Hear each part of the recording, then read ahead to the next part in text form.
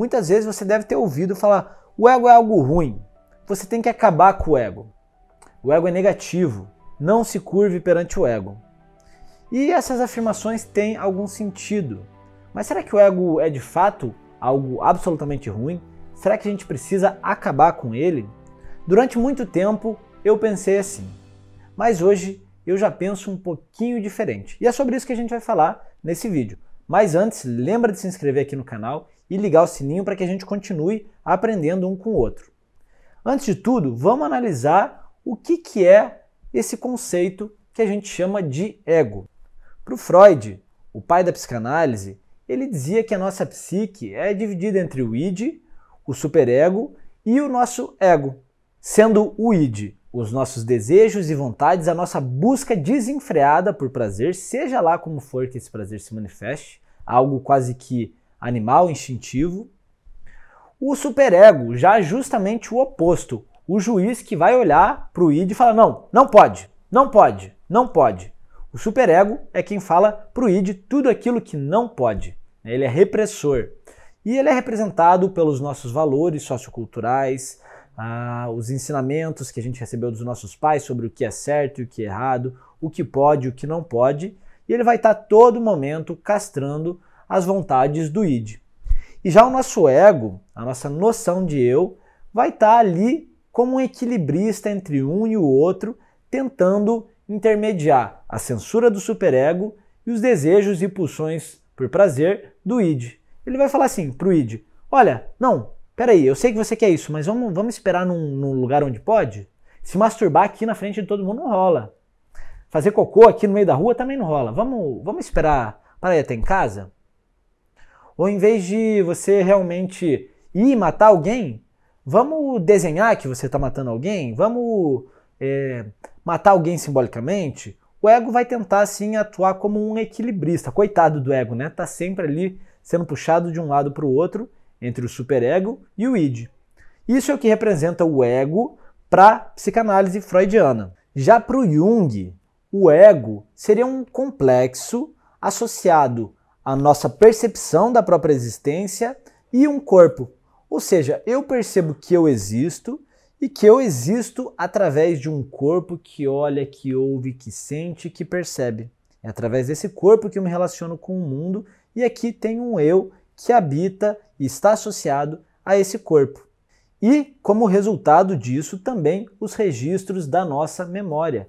Ou seja, eu sou um eu que vive experiências através desse corpo, que viveu experiências ontem, que viveu experiências anteontem, há cinco anos atrás, e através dessa sequência de registros de memórias, eu conto uma história sobre mim mesmo associada a um corpo ao longo do tempo. Ou seja, esse corpo, esse eu, viveu, percebeu determinadas situações ao longo do tempo e eu vou conectando essas histórias. Ou seja, para o Jung, o eu, o ego, é uma percepção de si próprio associada a um corpo ao longo do tempo, é uma narrativa temporal. E como é que esse ego se forma para a psicologia analítica? Bem, antes de tudo, é importante frisar que para a psicologia analítica, o ego é apenas um pequeno componente da nossa psique que é muito mais ampla do que tudo isso. Então, o ego seria o gestor da nossa consciência. Imagine que sua mente é um iceberg, que a sua psique é um iceberg. A parte consciente, onde estão as nossas personas e o nosso ego, é só aquela pontinha que está para cima da superfície. Né? E ali, é, nessa parte que a gente chama de mente consciente, quem organiza quem é o gestor dos pensamentos, das identidades, das personas que surgem na nossa mente consciente é o ego. Então o ego é o gerente da nossa mente consciente. Só que para baixo do oceano, o iceberg é muito maior.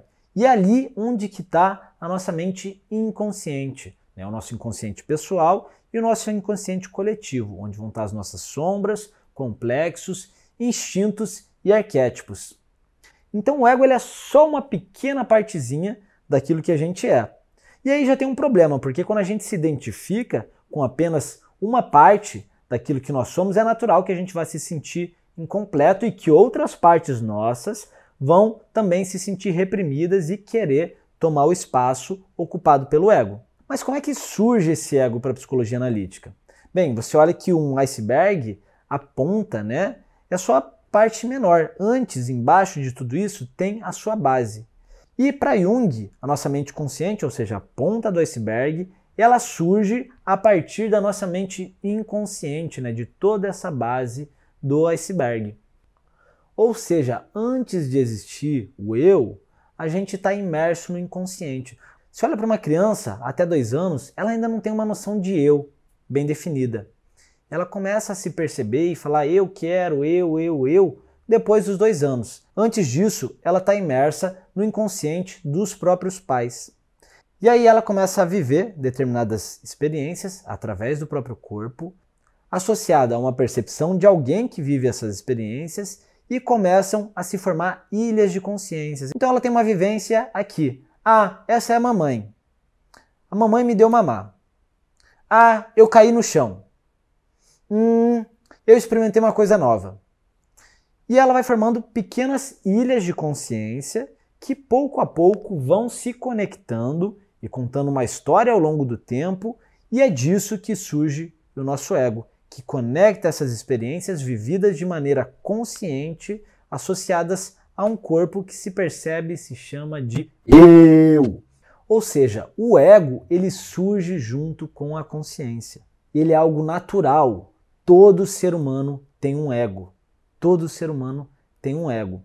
E não tem problema nenhum nisso. Faz parte da nossa existência, faz parte da nossa jornada. O grande perigo é quando a gente tem um ego super inflado, um ego que se considera o centro do mundo e que não aceita mais nada que não esteja relacionado às vontades e pensamentos desse eu. Que é o ego que pensa que ele vai salvar o mundo, que tudo deve servir ele, e isso é o que a gente chama de egoísmo. E o egoísmo é uma doença de fato que vai gerar uma série de distúrbios físicos, psicológicos e sociais. Né? Líderes egoístas, pessoas egoístas causam um grande estrago na nossa sociedade e na biosfera como um todo. Mas o oposto também é um baita perigo, de você negar o ego, de você falar, não, o ego é ruim, eu não quero o ego, o ego não existe para mim.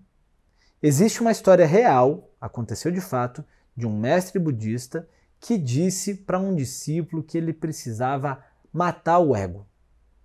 E o que foi que esse discípulo fez? Se matou.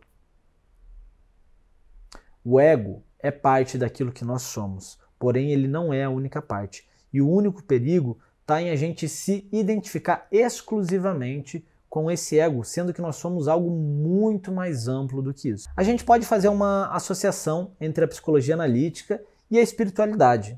Então, se você já está no caminho do autoconhecimento, é possível que você já tenha ouvido ah, o conceito eu menor e eu maior. O eu menor seria justamente o nosso ego, essa parte da nossa mente consciente que está limitada ao nosso corpo. Já o nosso eu maior, que seria a imagem de Deus em nós, o nosso eu superior, o nosso eu divino, que é o que a filosofia grega vai chamar de daimon, é o que a psicologia analítica chama de self, a imagem de Deus dentro de nós, o nosso eu superior. E a função do ego é levar a gente do eu menor em direção ao eu maior. Ou seja, o ego ele está aqui para servir o self. O eu menor precisa existir para que a gente possa operar nesse mundo. Para eu ir falar com alguém, para eu assinar um documento, para eu é, existir, eu preciso de alguém que vai me reconhecer através de um corpo e através de um nome e através de uma história. Só que esse eu menor ele está aqui para servir o todo, ele está aqui para servir essa grande teia da qual nós somos parte.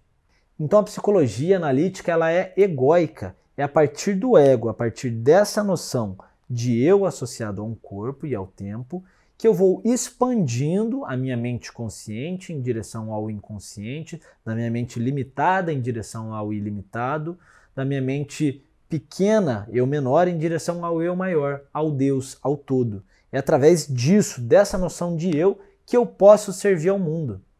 Ou seja, um ego bom é um ego que está aqui para servir e não para ser servido. O ego que se coloca na condição de ser servido pelos outros é o egoísta. E um ego saudável precisa ser flexível, porque a gente está em constante transformação.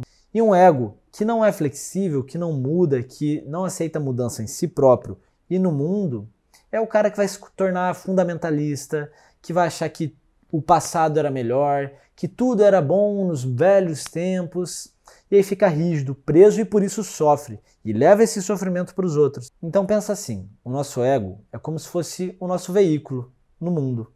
A gente usa ele para nos conduzir através dessa experiência da jornada humana. Né? E como bons motoristas, a gente precisa sim tomar conta do nosso veículo. A gente precisa trocar óleo, a gente precisa trocar pneu, a gente precisa fazer manutenção, a gente tem que tomar cuidado para não bater, para não maltratar ele.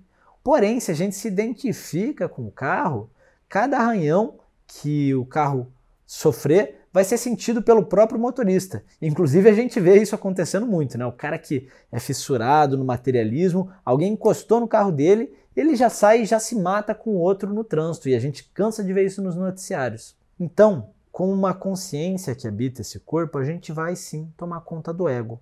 Vai tomar conta do nosso corpo, vai tomar conta da nossa história, da nossa reputação, dos nossos pensamentos, dos nossos comportamentos, sem jamais se identificar com eles, entendendo que o ego nada mais passa de um veículo que pode nos levar de uma condição limitada para uma condição mais ampla. O ego tem que buscar sempre a ampliação da consciência, rompendo os seus próprios limites egoístas, estando aberto ao mistério, ao desconhecido, ao outro, ao mundo como um todo em eterna reverência para poder servir.